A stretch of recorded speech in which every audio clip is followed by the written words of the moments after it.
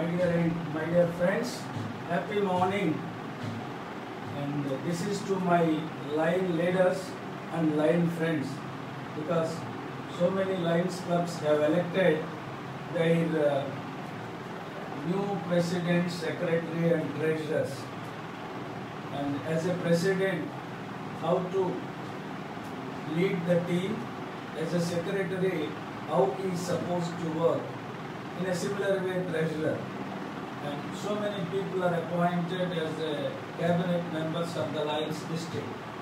And if any cabinet member or president or secretary wants to be a successful leader, so what they are supposed to do, look at here, the seven soft skills you need to be successful. The seven soft skills you need to be successful. The first one is leadership skill. The second one is teamwork. Third one is communication skills. Fourth one is problem solving skills. Fifth one is work ethics. Sixth one flexibility or adaptability. Seventh one very important interpersonal skills or people skills. So leadership skills. When you have you have been elected as a president of your club, how to lead the club. So then what uh, see how your words can inspire the club members to come to work together voluntarily without command. So when you are talking, your words must make them to come together as a team in order to achieve the common goal of service. So then we can then we can uh, see the, your leadership qualities. Your leadership quality is exhibited when your club members come forward voluntarily on their own after listening your words, after seeing your actions. Your actions, your words inspire the team members, inspire your club members, then you are a successful leader. So always exhibit that leadership skill. Second one, teamwork. A leader must know when all, when all work together, they will get uh, the best efficient result than an individual effort. A leader must know team is together, everyone achieves uh, more. So that should be a teamwork. Communication skills, verbal, non-verbal. So this is an important ingredient of leadership uh, quality, communication skills. Unless and until you communicate properly what you want to communicate, what you want to say, what you want to express, other people cannot understand what you are telling. Other people may not understand, or your team members may not understand your idea. Your, so communication is a very important thing.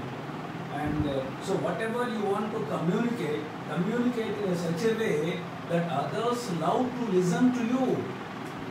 Others must, must understand what you are telling. Others must know what is your idea. So that is the proper way of communication. So, and remember, active listening also a part of a communication skills.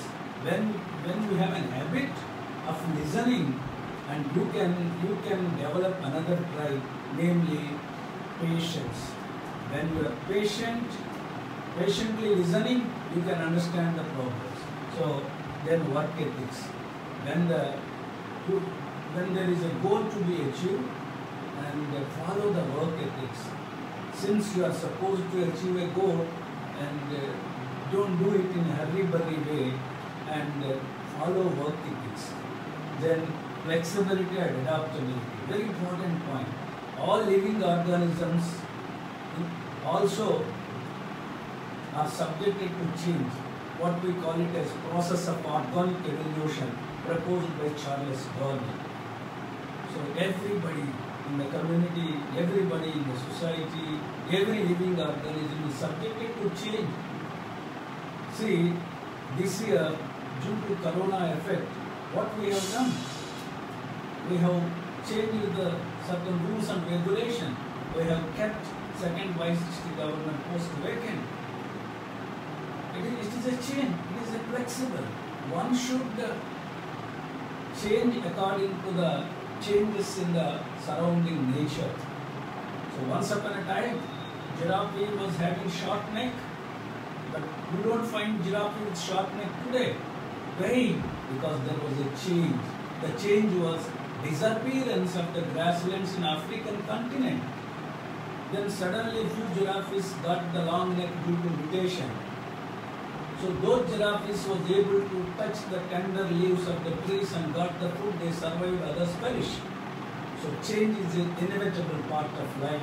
So one should accept the uh, change. One should be flexible in leading a team. One should be adaptable to the changing circumstances and environmental conditions. The last one, interpersonal skills. We call them as personal skills also. So how, how to develop rapport with others, how to communicate with others, how to respect uh, others, how to see, how do you communicate with others. Uh, so what, uh, see, how do you react with uh, all those, all those things come under interpersonal skills. This is a very important one.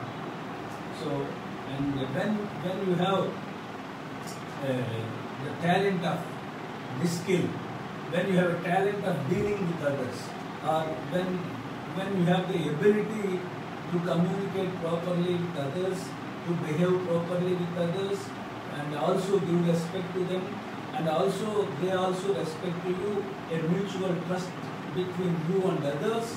So they all come under interpersonal skills. So develop interpersonal skills by developing all these seven traits: leadership skills, teamwork, communication skills, problem solving skills, work ethic, following work ethics, flex, uh, adapting the, the changing environment, that is flexibility or adaptability, or developing interpersonal skill. You will be the successful president or secretary or cabinet member or first YDBDG or governor, whatever position you may acquire. So develop all these seven skills and uh, lead uh, lead the district and you know our club and so have a successful Lionistic year. So thank you.